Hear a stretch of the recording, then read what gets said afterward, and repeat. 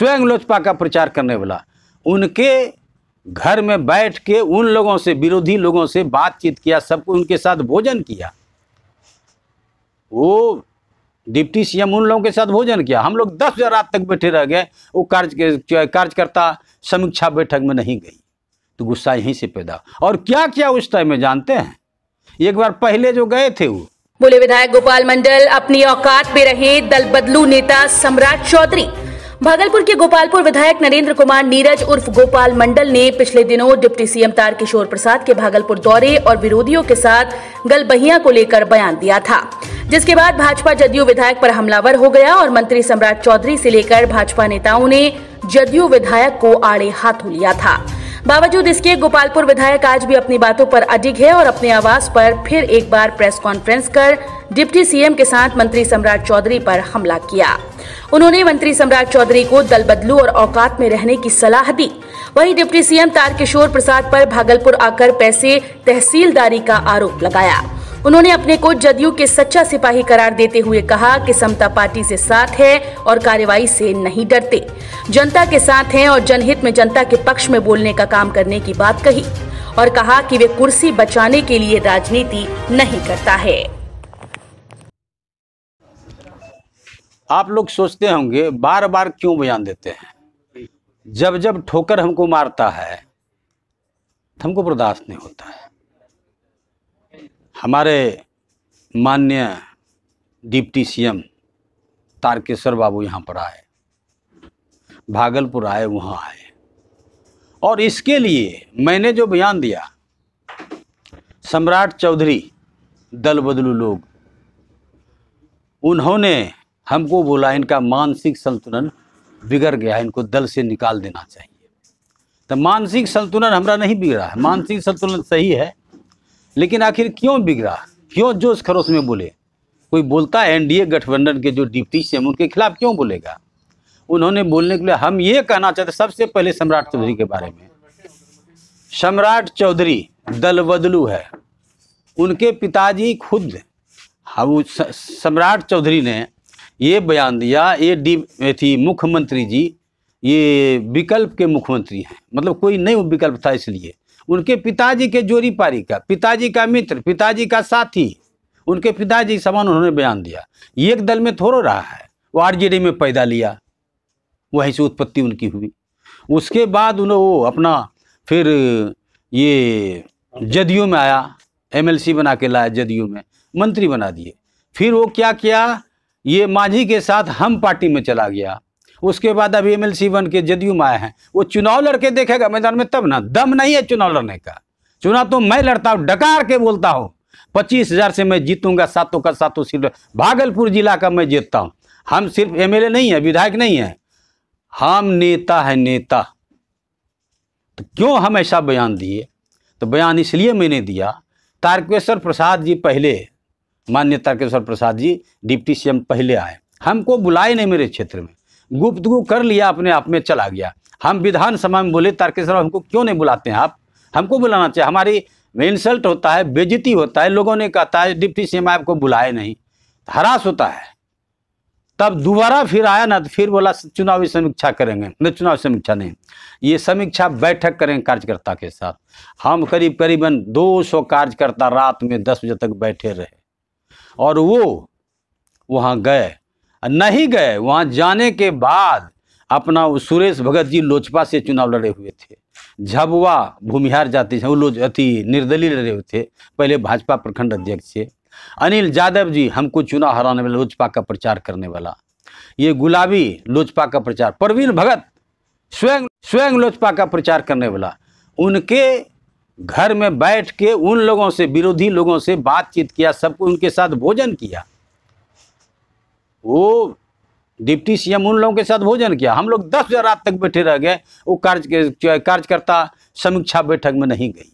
तो गुस्सा यहीं से पैदा। और क्या क्या उस टाइम में जानते हैं? एक बार पहले जो गए थे वो, लोगों को अब करीब बावन घर फंसा हुआ है, जो खरनई धार बोलता है नवगिछा के बगल में, जल जल उसी में गिरता है नवगछा का वो बावन घर टूटने वाला, आज से नहीं, दस साल से प्रक्रिया चल रही है। टूटने वाला है। इसका पैरवी करने नहीं टूटने देंगे, इस एसडीओ को भगा देंगे, उन्होंने पैसा इकट्ठा करने के लिए बोला था।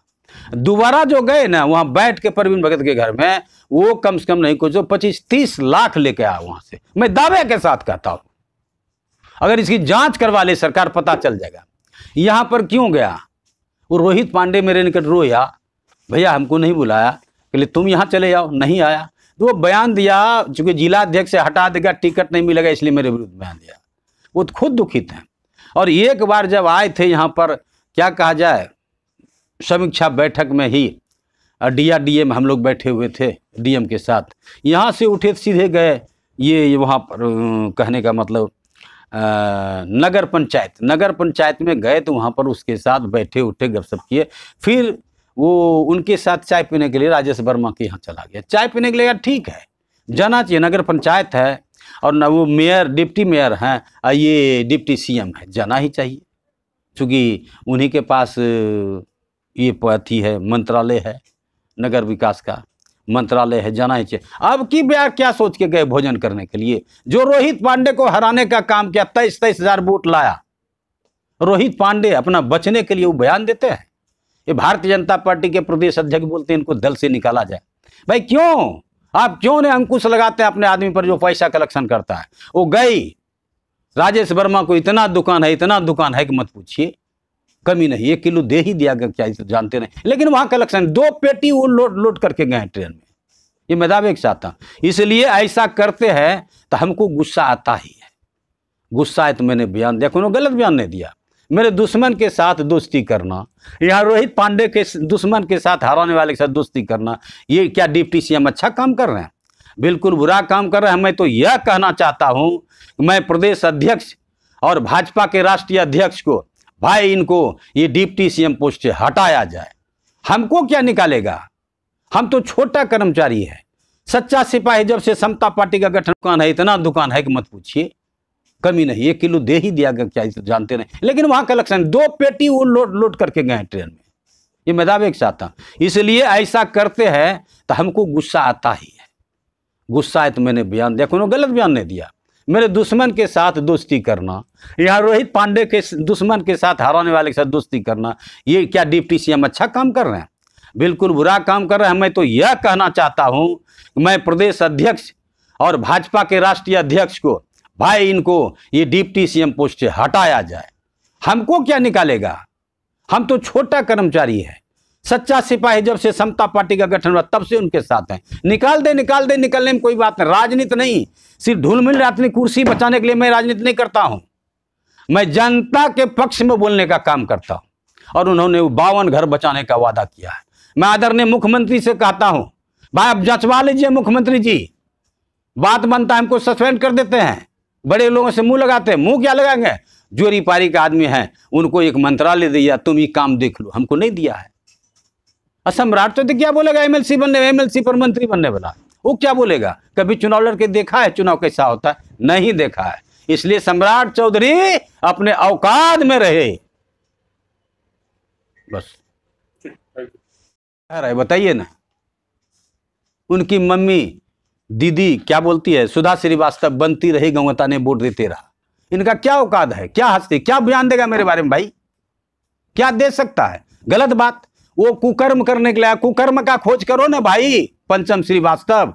रोहित पांडे, तुमरे हराने वाले व्यक्ति के आगे भोजन किया, एक आध किलो सोना लेके निकला। तुम ना चिंतन करो। पंचम श्रीवास्तव क्या बोलेगा मेरे बारे में? रोहित पांडे ने यह भी कहा कि आपसे हमसे कोई बात ही नहीं हुई। हमसे बात हुई हम फ़ोन पर रोया है तो क्या सबूत हम रखते हैं? थोड़ो। खत्म हुआ खत्म हुआ। अगर प्रमाण राजनीति अरे क्या छोड़े? राजनीति लायक वो व्यक्ति है? प्रमाण देंगे। वो चुनाव जीता हुआ चुनाव हार गया। परमान राजनीतिक व्यक्ति है जो राजनीति छोड़ देंगे। अब ज़्यादा मत बोलो बहुत बात हम बोल देंगे। वो प्रदेश अध्यक्ष हैं भाजपा के संजय जायसवाल। वो इसलिए बोला कि वह उनके दल के डिप्टी सीएम का तोहिनी हुआ। तो तोहिनी हुआ तब उनके बारे में सोचिए। हमको हटाने का क्या बात हमको हटाएँगे नीतीश कुमार। हमको हटाएँगे जो राष्ट्रीय अध्यक्ष ललन सिंह। वो कौन हटाने वाला है?